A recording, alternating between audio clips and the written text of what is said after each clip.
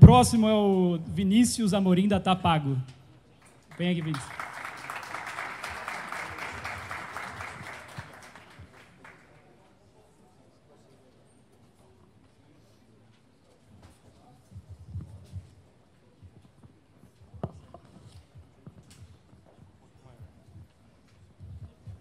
Bom, é, boa tarde a todos. Eu sou Vinícius Amorim e vou falar hoje para vocês da Tapago.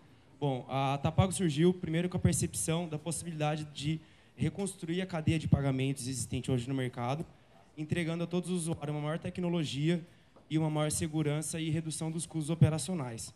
Primeiro, a gente percebeu que os aparelhos celulares eles têm uma alta penetração no mercado, tendo um número estimado de 1,37 celulares por habitante, e o mercado de pagamentos tem umas taxas é, extremamente elevadas, em alguns casos chegando em até 9% por transação. É, bom, então a gente criou a Tapago, que é uma fintech de mobile payment e mobile wallet, é, trabalhando especificamente no Vale Alimentação, Vale Refeição e o convênio, que é um crédito de desconto em folha dos funcionários. Quando a gente fala de Vale Alimentação e Refeição, eles são regulamentados pelo Ministério do Trabalho é, pelo PAT, que é o Programa de Alimentação ao Trabalhador. Isso é, tem que ser homologado por lá, você tem que apresentar ao Ministério do Trabalho a sua tecnologia, por ser uma tecnologia diferente do cartão plástico, e ser homologado. Depois de praticamente dois anos, nós conseguimos homologar a plataforma DataPago, sendo a única é, fintech de mobile payment homologada no Ministério do Trabalho para operar o Vale Alimentação e o Vale Refeição, sem nenhum cartão plástico. Ou seja, a hora que a gente analisa todo o mercado de benefícios, que é um mercado grande, consolidado no Brasil, a Tapago tem esse grande diferencial de não existir o cartão e ter uma plataforma própria que dá para ela uma condição de oferecer um custo operacional muito inferior para os lojistas. É, bom, como é que funciona? É muito simples. O usuário da Tapago chega no estabelecimento da nossa rede conveniada, informa o lojista que vai pagar pela Tapago e ele vai solicitar o CPF desse usuário. O usuário passa o CPF, ele digita tanto na plataforma web da Tapago, ou aplicativo, ou até mesmo TEF, nós já estamos integrados na Software Express, ele vai digitar o CPF, o sistema vai é, ser inserido o valor também da transação, e o sistema da Tapago vai ler é, esse CPF do usuário com o valor, gerar uma senha criptografada para aquela transação específica naquele local e manda para o usuário por SMS o token desta transação. É, portanto, o usuário não precisa nem ter um smartphone. Caso ele tenha um smartphone, ele vai ter o aplicativo da Tapago e pelo próprio aplicativo ele insere o valor e gera a senha dessa transação. Com a senha em mãos, o usuário vai informar o lojista ou ele mesmo digita no PINPAD quando for via TEF.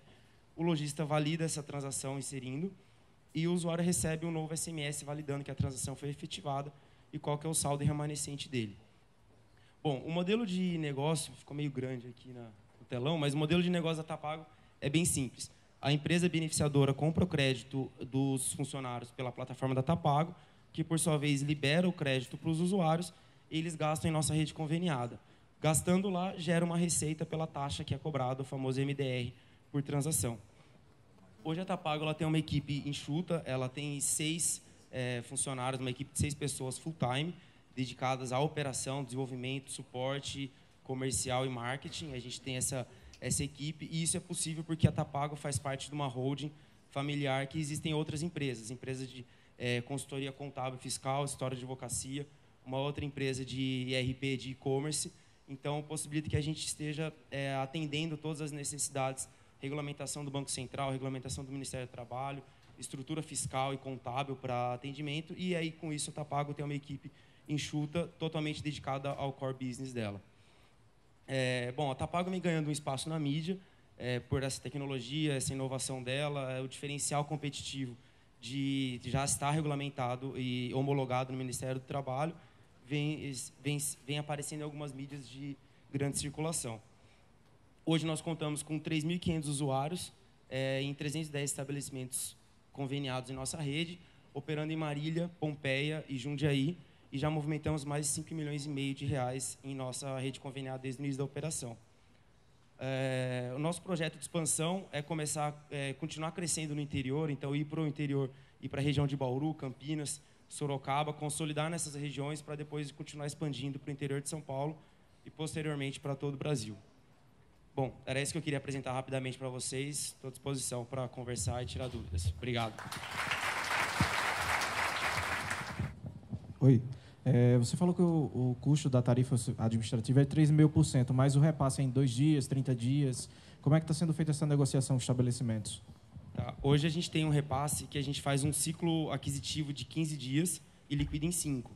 Né? A gente tem essa flexibilidade de fazer uma liquidação até inferior a dos benefícios, que normalmente corre um período de uma semana e paga em 30, ou é D mais 30. Tem um ciclo muito longo, a hora que a gente olha as outras bandeiras de benefício. A gente corre 15 dias e liquida em 5. Né? Então, ele também recebe o pagamento é, num prazo médio aí de D mais 12,5, que é bem inferior aos demais praticados no mercado, que vai ser D mais 30, às vezes até D mais 40. Plano para expansão de rede. Tá, o plano para expansão de rede, é, recentemente a gente concluiu a integração para a TEF, né? então nisso a gente tem fechado com alguns supermercados grandes, por exemplo, a rede Roldão do supermercado, que tem 34 unidades no estado, uh, o Taust, que é um supermercado mais regional lá da região de Marília, que tem mais seis mercados espalhados em Bauru, Sorocaba, Jundiaí. Então a gente está expandindo de acordo com a rede que a gente já tem.